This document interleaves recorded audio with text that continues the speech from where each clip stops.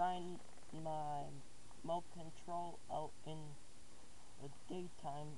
At night it didn't work very well. So I'm trying it out here at the um in the parking lot and see how it.